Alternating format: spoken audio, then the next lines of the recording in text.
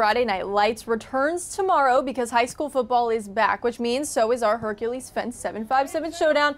And this week we feature Maury at Booker T. Washington.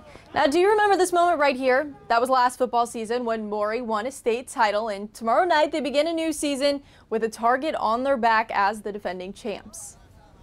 It's been a long time. It's a different team, totally different atmosphere, totally different time for everybody. So I don't think that we can spend so much time worrying about that 2019 championship. We got to focus on 2021 and what we have now. And McCain's first game of 2021 comes against one of his former coaches, Booker T. Washington's William Robertson, who was in his first season as Booker's head coach, coached McCain at Maury, and he looks to beat his former protege tomorrow night. A lot of guys on the staff, I coached them, and so it, it's a form of history for me. Um, I'm excited about it. I'm very proud of the, the coaching staff over there because I believe that I put some things in them. Um, but at the same time, you know, he's an excellent coach, Reed McCain, um, great guy, um, and I'm looking forward to go against the state champions. So it'll be a good one, you know, going against uh, one of his former players.